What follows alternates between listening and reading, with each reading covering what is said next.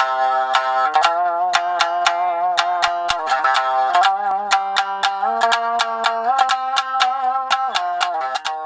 い。どうも、津賀ジャム線の山影勝です。えっ、と、間を挟んでね、えっ、と、押し鉢のやつ3で、えっ、と、3段攻略、いよいよいきたいと思います。えー、3段攻略、も初めの方はまた、2段の、え、2段に似た感じのが出てくるんですけど、これもね、なんで、なんで同じようなのが出てくるんだろうっていうのがまたあると思いますけど、始めたいと思います。よろしくお願いします。じゃあ、いつも通りまた、えーゆっくりやりたいと思うんですけど、えーっと、3段の初めは2段とほとんど一緒です。ちょっとだけ違います。違うんですけど、えーっと、この、あの、2段の最後の方で出てきましたね。っていう風に出てきたのと同じやつを1の糸でやるんですね。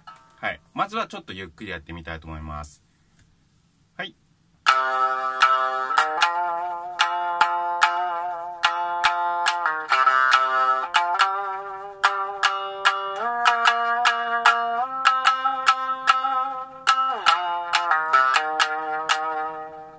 っていう感じになります。えーっと、6から9、9から10。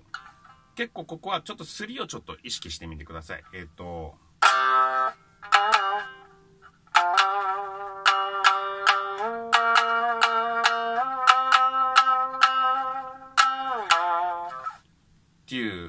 やつですね。はい。で、えーっと、まあ、10から4、また薬指で移動するんですけど、ここも、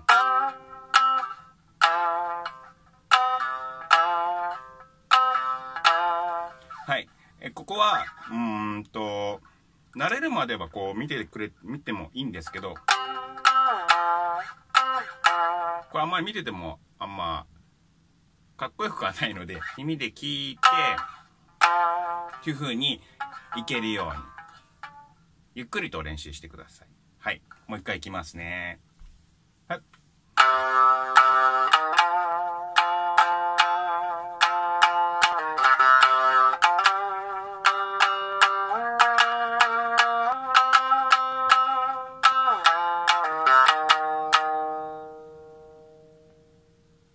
はい。っていう感じです。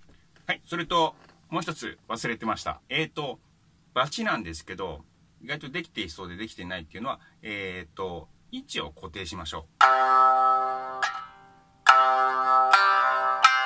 えっと、こう、動いたりとかするのは、まあ、あの、ちょっと初心者の人には向いてませんので、とにかく、このね、ここの部分を、ぶつけちゃった。えっと、この銅の3分の1の下のところにつけてください。つけて、ちょうどここが、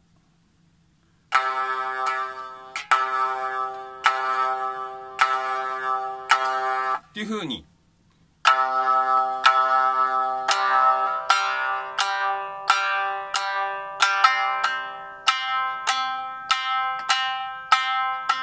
っていう風になるように、えー固定、固定してください。ここの方で。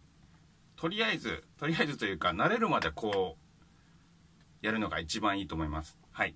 はい、そんなわけで、えー、三段攻略第1回目、えー、ですけど、前半の部分ですね。あの、ちょっと足しただけなんですけど、えー、それにプラス、えー、っとですね、バチの位置をちゃんとやらないと、こう、ふわふわふわふわ、ふわふわふわふわしてると、あのー音も定まらないですし、そこはちょっと、えー、初めのうちはきっちりとやってほしいなと思っております。はい。で、次のことなんですけど、1段、2段、3段と全部同じフレーズがあったんですけど、3段の場合、3段の場合というか、えっ、と、そろそろね、皆さんもね、違うようなやつも弾いてみたいだろうなと思うので、別バージョンのやつです。別バージョンのやつを、ちょっと、えー、次回はやってみたいなと思ってますので、それも楽しみにしていてください。はい。ということで、頑張って、えー、50、50回やってくださいよ。50回やってください。はい。なので、次回また会いましょう。山影まさるでした。